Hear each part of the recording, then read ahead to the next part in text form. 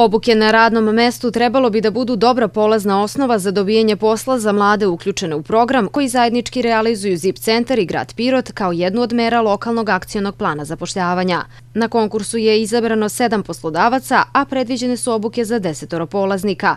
Oni će tokom dva meseca učiti od iskusnih mentora i za to vreme dobijaće naknadu.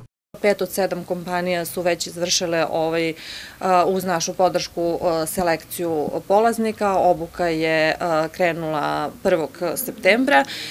Imamo još dve kompanije koje su u potrazi za, za onima koji će se uključiti u njihove programe. To su dva mesta za zanimanje konobar.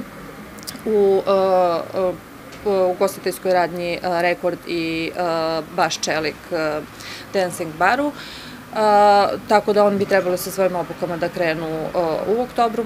ZIP centar ima iskustvo u organizovanju ovakvih obuka jer poslednjih pet godina na isti način povezuju poslodavce i nezaposlene kroz projekat Znanjem do posla. Za poslodavce koji žele da se uključe, poziv je otvoren do kraja septembra.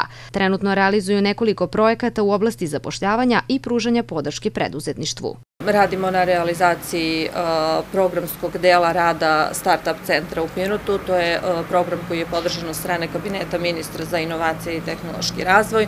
Od sledeće nedelje, eto baš krećemo sa prvim aktivnostima u okviru ovog programa.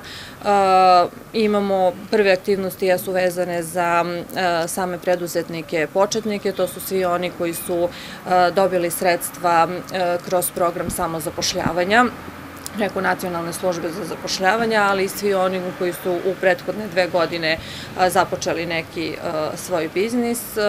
Krećemo sa edukacijama koje se tiču njihovog razvoja poslovanja. ZIP centar realizuje i projekat o preduzetništvu u poljoprivredi Agri Eko u sklopu programa Erasmus+.